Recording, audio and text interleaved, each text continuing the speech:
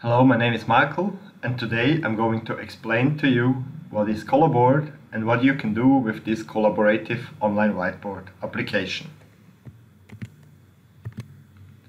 First of all, Collaboard is an online whiteboard and a real-time collaboration solution. It provides to you an infinite virtual whiteboard space on which you can brainstorm, plan, strategize, mind map, and do many more things in online meetings and online workshops. The core concept of Collaboard is to invite others to collaborate. And there are different options. So basically, if you want to invite somebody to your Collaboard project, you will find here uh, an invite button where you can share your project. And then you can share a link. You can add license-free guest users and you have different options to create a real secure sharing experience. So for example here I can invite registered people or guests and for everybody I can choose the permission they have initially when they access the board. Of course I can change this afterwards. And then for security reasons I have here the option to say how long the link is valid and I have also the option to protect the board with a password. Usually when we invite people, we require that they identify themselves, so this means they add their name. But if you want to have people without their name on the board, you can also disable that. In this case, it's slightly easy. You just um, select the permissions, generate a link, share this via chat or put this to the Outlook invite and your attendees just click on the link and in a few seconds they join your board to collaborate with you together. Now, when we think about collaboration on an online whiteboard, with what elements do we work here? So first of all, in Collaboard we can add notes. So are different kind of sticky notes and you do everything here over this menu on the left side. So if you want to add a note, you can select a squared note or you can also choose a rectangle you can add one or even five or 10 at the same time. And you have two options. If you just click on the color, the note will appear on the center of your board. Or you can also drag and drop the note to this location where you want to have it. Of course, you can group the notes, you can change uh, the, the font, you can change the color afterwards, and so on. And in Collaboard, you have really the, the option to choose any color you like. So here is a color picker you can even get colors just from any element on the board, or you can use your own color code. That's one of the most used features. This is just the digital sticky notes. Now, Collaboard is an online whiteboard. So this means we can draw and sketch. And the philosophy of Collaboard is to provide you these tools you also know from the real world. So you can choose here between five different pens. You have a nib, you have also a highlighter, a brush, a normal pen or a pencil and they all emulate different kind of inking and dependent on what you do you can be very artistic with Collaboard or you can just use the highlighter to uh, highlight important things on documents and so on. Now the next element we can put to the board is documents. So here we have the option to import a few kinds of documents. So we can import PDFs, we can import Word file, PowerPoint and Excel. So what you can do, you can just drag and drop them from your um, file system to Collaboard or also here over this um, menu you can browse your files and add a document to your board. In our case here I added a PDF and what we can do now is we can browse through the pages of the PDF and there is also an option to extract here the content. So let's say we would like to extract this second page or the first page, so we can just click here. Now let's say we want to extract page 1 to 3 and we just click here on extract pages and now we get all the pages of the documents and we can start to work on that. In this case we might choose the, the highlighter so we can really mark now the important things, or we can just choose here also the, the normal pen to do some annotations. And this really allows us to, uh, to communicate visually.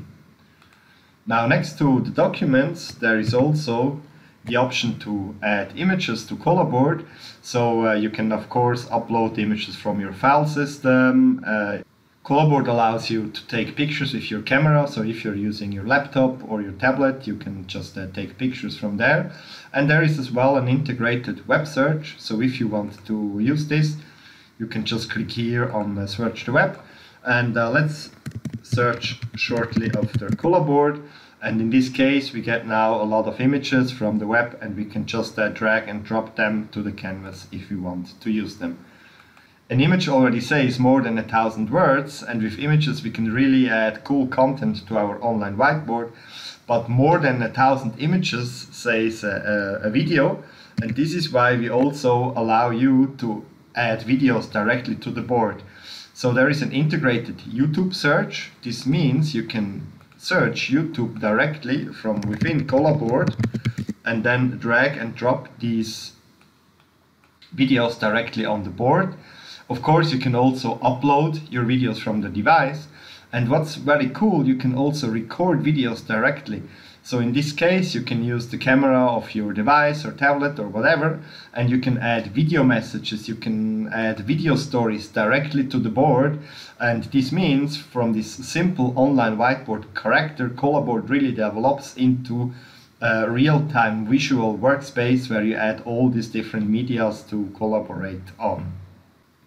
Next to the videos, we also have the option to add shapes. So in Collaboard, we provide you 216 different standard shapes you can use for many different purposes. So you see here also on this menu on the left you can uh, use here these different shapes. You can either just drag and drop them from here or you can open the panel with all the shapes options and you see that for every shape you can define the color you would like to have. So you can completely adjust this to your needs, you can add your own branding and this makes it very useful to work with uh, shapes here on, on Collaboard. If you have your own set of shapes, for example as SVG files, then you can add them as well just by uploading them as an image to, to Collaboard itself. Now, next to the shapes, we also have the option to embed web content to Collaboard. So this means we can add websites directly to the board and um, if we do this here, we just need to enter the URL.